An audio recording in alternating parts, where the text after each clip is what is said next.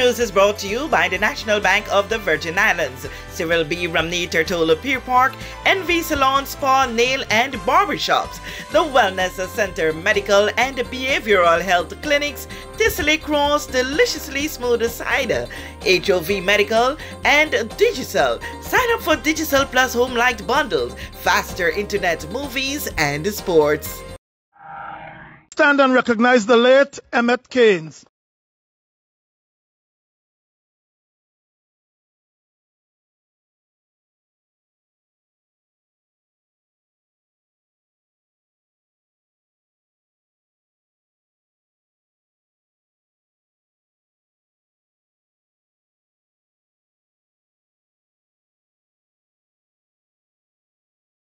It's, it's certainly a pleasure and very much appreciated that the association would think on doing this in honor of my late husband.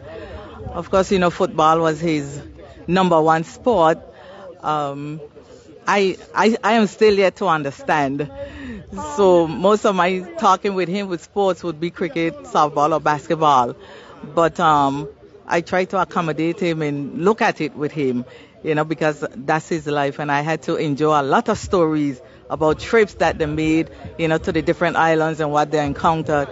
But, you know, this was something that he loved dearly.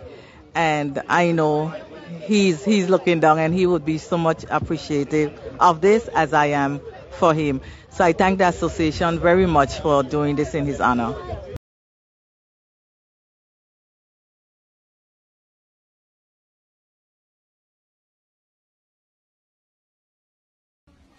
Emmett Caines had a 17-year active involvement in the BVI Football Association between 1975 and 1992.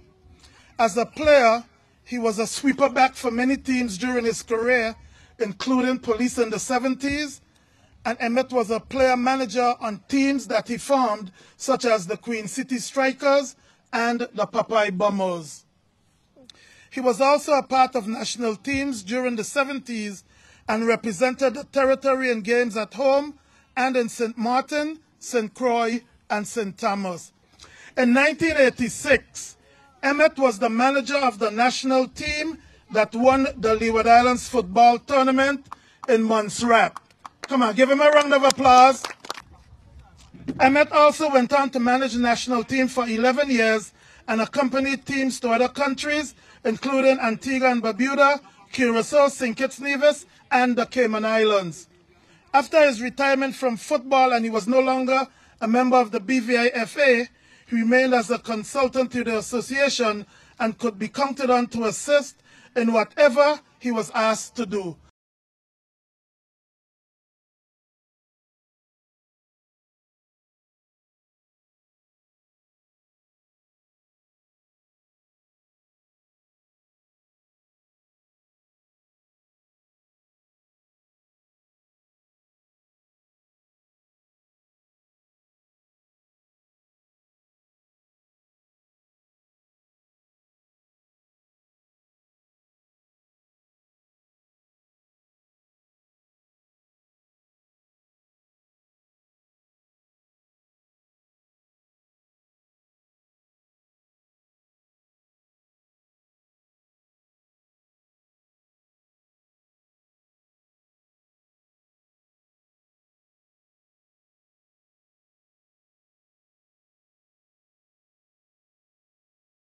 We know that where you choose to bank matters, and it is your vote on what your funds do in strengthening our community.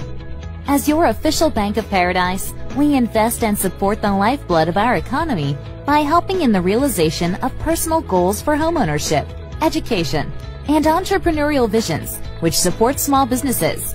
We make it our place to connect with persons and worthy causes, and we have been doing so for more than 30 years. Where your money goes and what your dollars empower are your choice. And we thank you for choosing us, a bank that gives where it matters the most, for you, for our community, and a happier tomorrow. The National Bank of the Virgin Islands.